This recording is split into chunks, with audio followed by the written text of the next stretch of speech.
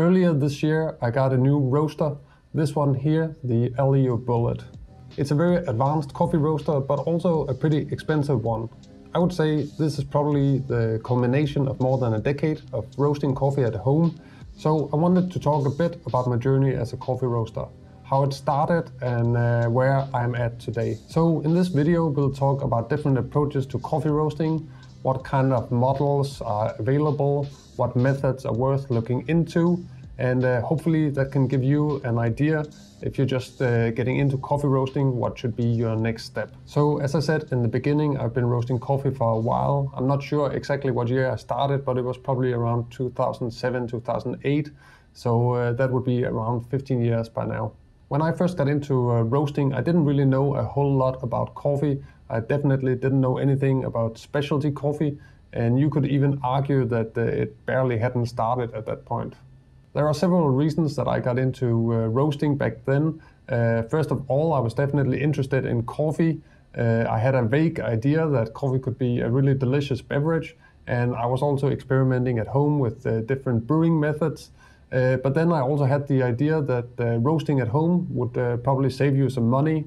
And when you're a student on a tight budget, it's good to save money. So the way I got started was simple. I found a local roaster that was also selling green beans.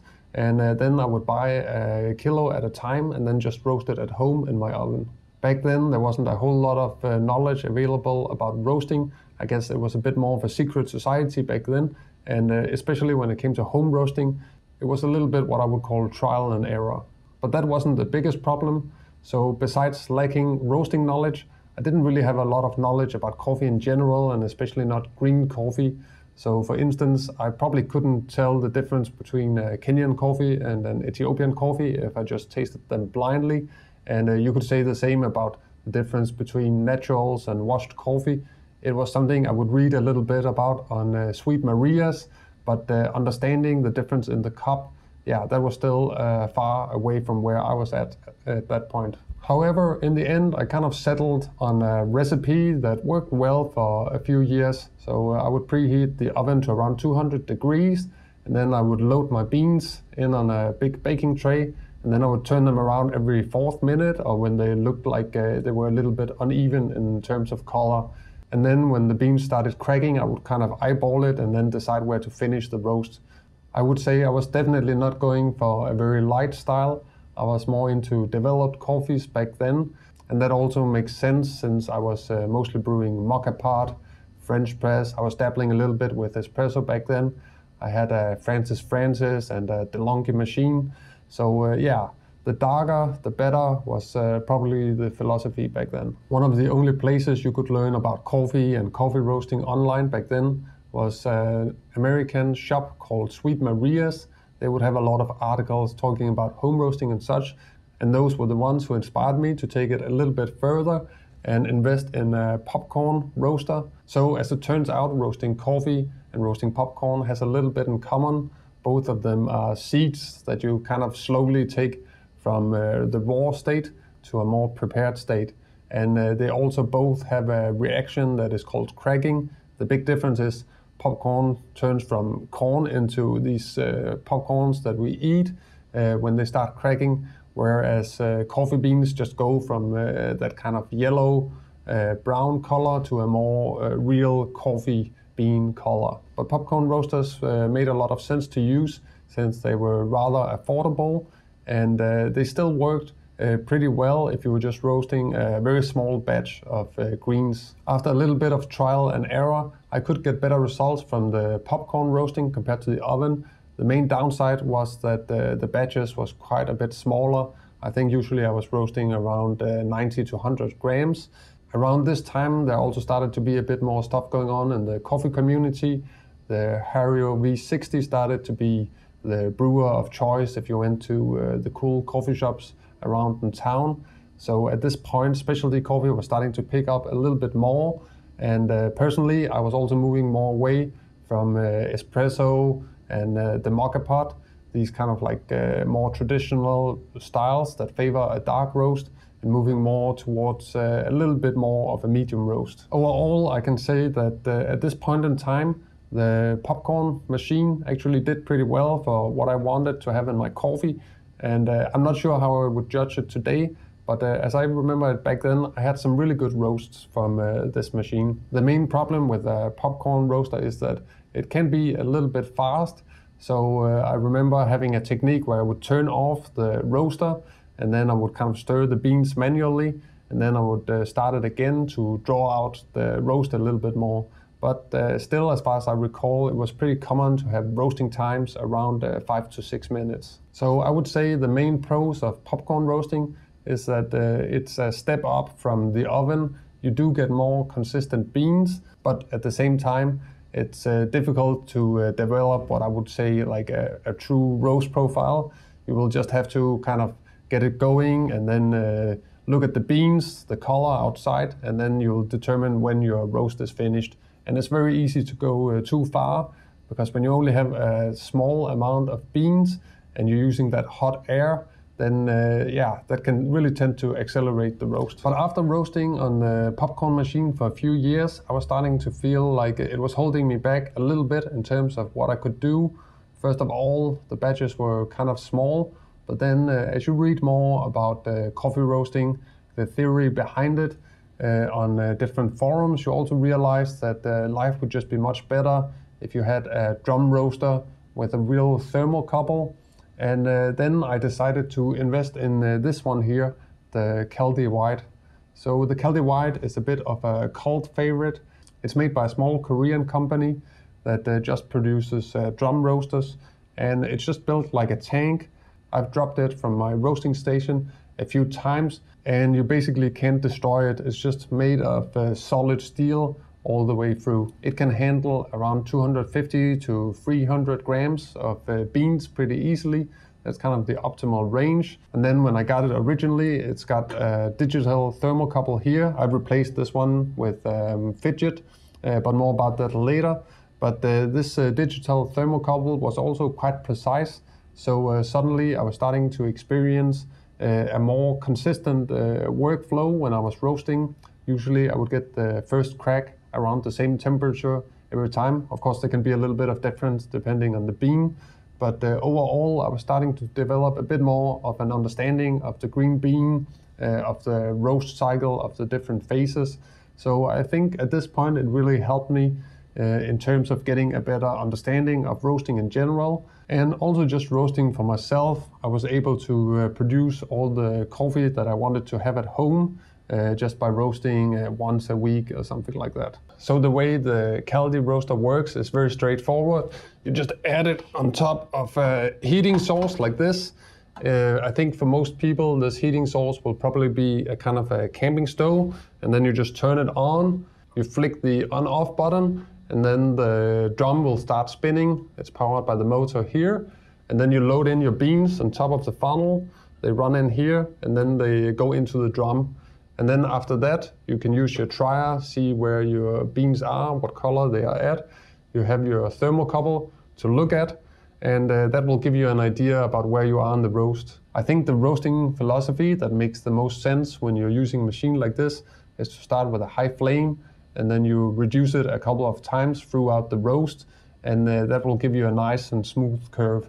I will say that you can get uh, very good coffee from a roaster like this, but uh, it also requires a lot of uh, concentration, especially because uh, using this camping stove as a heat source, it's very difficult to accurately get the same flame all the time. Also, if you're roasting outside, depending on the day, the weather, the temperature, uh, it's also going to uh, have an effect on uh, what you can do with the roaster. But overall, if you're willing to put in some time and effort, you can get pretty good results uh, with uh, a drum roaster like this. However, after using it for several years, I uh, started to buy more coffee from third wave roasters again, and I slowly realized that uh, maybe my coffee was not quite as good as the top roasters around in the world. Also, my uh, personal preference was shifting towards going lighter and lighter. So uh, I wanted to get a bit more out of the profile. And um, I was feeling that uh, I couldn't get everything I wanted from the Kaldi Wide. So first of all, you don't really have any control over the airflow. uh, which is something that you probably need to control better if you want the absolute best from your coffee. Often I would feel like there was a little bit of a roasty flavor to my beans, and I thought it was coming from uh, the fact that it didn't have any airflow, especially as you go into the first crack. It's important that you can get all the smoke and all the chaff away from the drum uh, so you can get a cleaner, smoother finish. I was also wondering if it was my cleaning that was not good enough, so I would uh, take the roaster apart and clean the drum quite frequently to see if I could get better results. In the end, however, I kind of realized that maybe I will need to build an airflow system uh, so I can do something about it. I was getting inspired by this uh, Taiwanese roaster called Huky, which uses its bean cooler as a source to add a fan to the roasting process. And I was trying to build the same for this one here. The main problem was just since I was roasting outside, I had to set up this uh, system every time. But there's also this problem with the Kaldi that when you want to uh, unload your beans, you have to remove this whole front facing panel here with the trier and the bean loader. So in the end, it turned out to be a bit of a mess to use an airflow in daily life when I was roasting. At the same time, I also wanted to uh, get access to roasting software, and uh, that meant I had to uh, remove the digital thermocouple that it uh, came with, and then buy these um, more intelligent ones from a company called Phidget, and then you can plug the thermocouples in and connect them to a computer and then you can use this uh, kind of fancy software called Artisan. So it was interesting to suddenly have access to the curves on the computer to use the artisan software and feel like you are one of the real roasters. But uh, on the other hand, it was also a very uh, cumbersome setup uh, to take the computer outside, set up the roasting station, and then uh, connect all these different pipes for the airflow. And uh, in the end, I don't really think I created a more uh, consistent roast by doing it this way. So one thing is to record all the data on the computer but when your conditions are so different, and especially uh, you're not sure if you have the same level of airflow every time, uh, and you don't record these things, so I wasn't able to record the airflow or the power setting very accurately. So in the end, I'm not really sure if this super complicated homemade setup made much sense, and uh, it wasn't too much fun to uh, roast this way. So it was at this point the itch to upgrade kind of uh, got me again. And I was starting to think about, okay, if I want a different roaster, what do I want it to do? So uh, there are these interesting uh, new air roasters like the Kaffelogic and the Ikawa, which are really cool, but they do have a small uh, capacity. And I was kind of coming from this one here, which can roast 250 grams. And I definitely didn't want to uh, downgrade that. So I wanted a roaster that could roast even bigger batches and uh, make my life a little bit easier especially since I was uh, consuming so much coffee at home. I'm doing all this testing of new uh, grinders and uh, new equipment, and that means that you really go through a lot of beans uh, quite quickly. At the same time, I wanted something that could supply my just regular drinking, and uh, that would also require a significant capacity. So at this point, I was starting to think 500 grams might be the minimum. Uh, but when you get to this point, and you look around in the market, actually there's not a whole lot of stuff available. So it was at this point I started considering the Aillio Bullet again.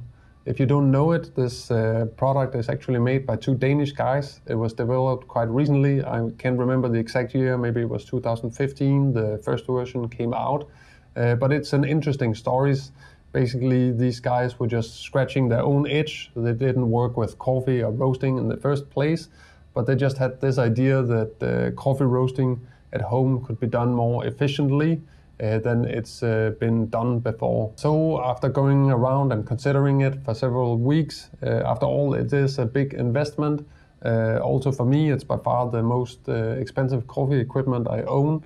I decided I would go for it and then hopefully it's gonna pay for itself in the long run. And I have to say, I'm pretty happy I did. If going from oven and popcorn to Kaldi felt like a big jump, then going from Kaldi to Bullet almost feels like an even bigger jump. So it's almost like going from a typewriter to a MacBook. So the difference is simply so big. I will say the most fantastic thing going from the Kaldi Wide to the Bullet is that this is kind of a self-contained unit.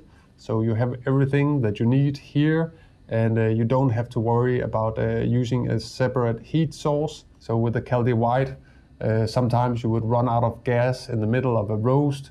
You would also have to be uh, very careful with that uh, hot flame all the time.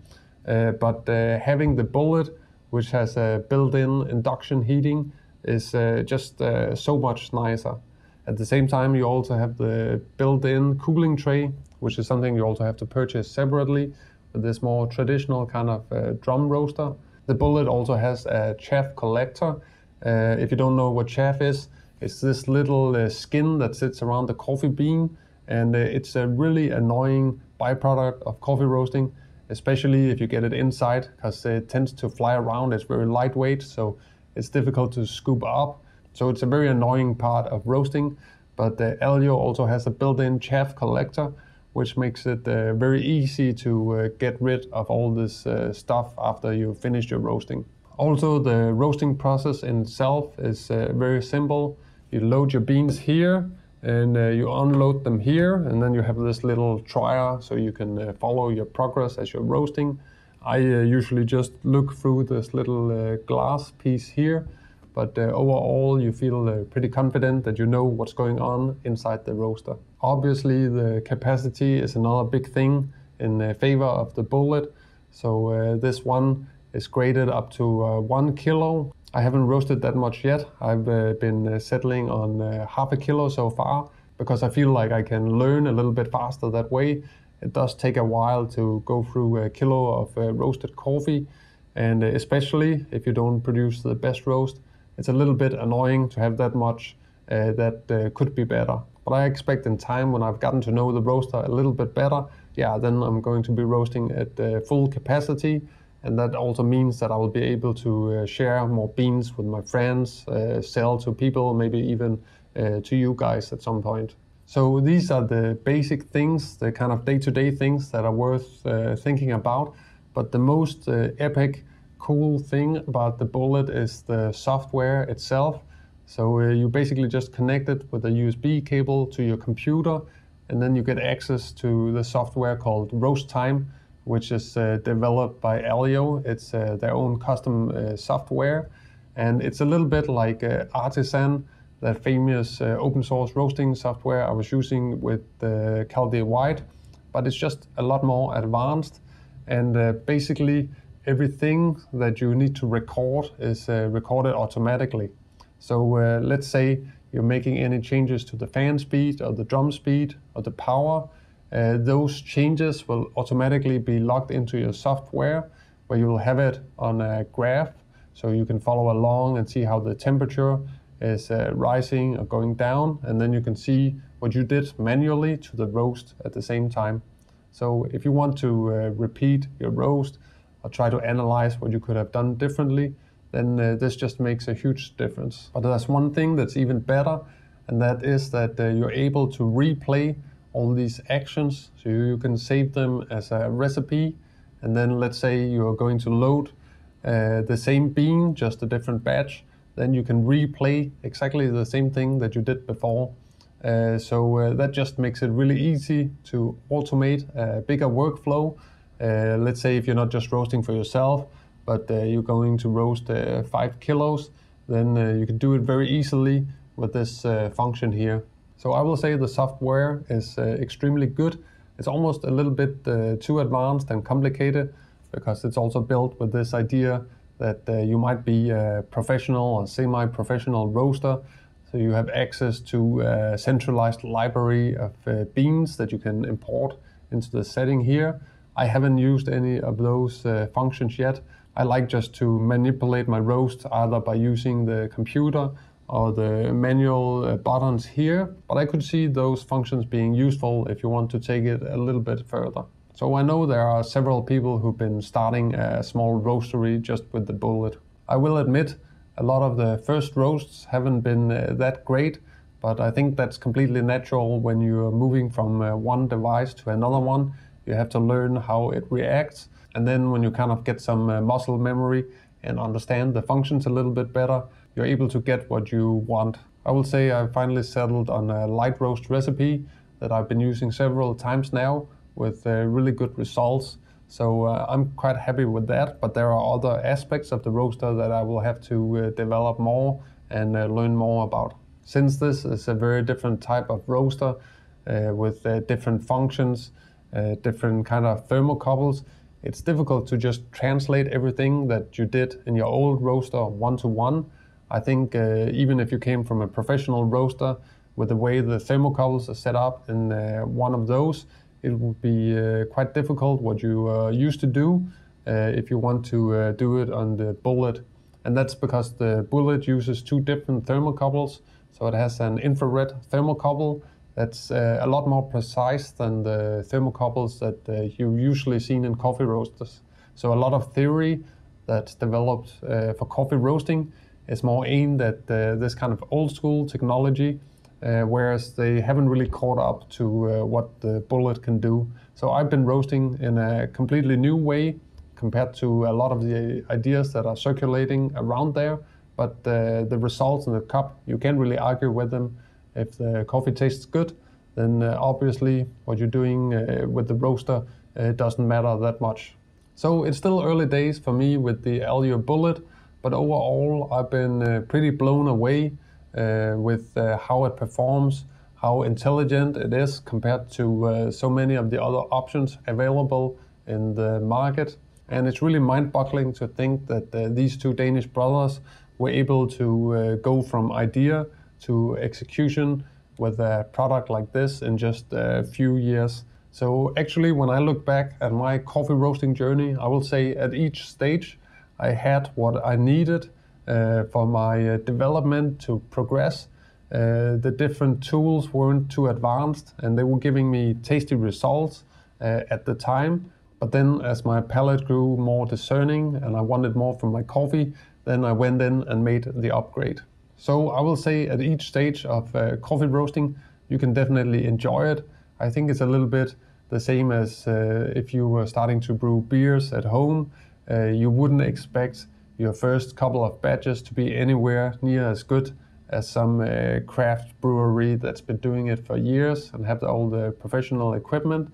But uh, you can still get something that you enjoy. So it's also about the enjoyment of crafting something yourself, baking your own bread, uh, roasting your own coffee, brewing your own beer. All these things are hobbies that I can definitely understand why people are getting into. That's just something very fulfilling from taking something raw and then turning it into a finished product. So I truly think that roasting coffee at home gives you a deeper understanding of coffee in general. So if you're a real geek just for the education of it, I think it's uh, worth taking up. Are you going to save money? Are you going to get super awesome roasts that you can't buy from uh, the professionals out there? Well, that's more difficult to say, but uh, I think the journey is still worth it. By the way, if there are any home roasters out here, I'd love to hear from you down in the comment section. Tell me about what your journey has been like. And if there are any uh, bullet roasters here, I'd also love to share notes with you. I'll leave a link to my current favorite recipe for the lighter roast down in the description and then you can download it and try it on your own uh, bullet and uh, yeah, leave any feedback if you have it. But if there are any Kaldi Wide roasters or popcorn roasters or oven roasters, I'd also love to hear from you down below. That's it for today. I will see you in another coffee video very soon.